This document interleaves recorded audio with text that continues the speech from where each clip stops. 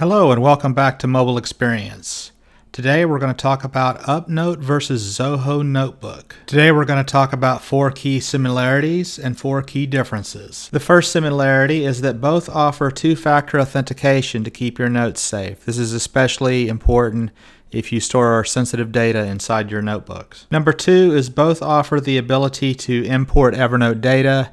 This is very uh, important if you are with Evernote and you're looking to change apps. Number three is both offer the ability to assign tags to notes. This is very important to help you find your data and should be in every Notes app in my opinion. And number four, both offer notebook covers.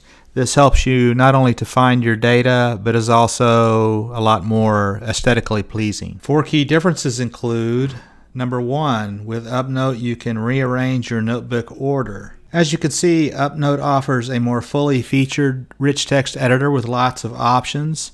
Zoho's text editor is very basic. Number three key difference is that UpNote offers more export options, including text, HTML, PDF, and Markdown. Zoho Notebook only offers export in the Z-Note file proprietary format and HTML, so your notes are more trapped in the Zoho ecosystem if you go with them. And finally, with number four, UpNote is simply more intuitive as it offers a traditional notebook structure that is found in most other Notes apps, and Zoho does not.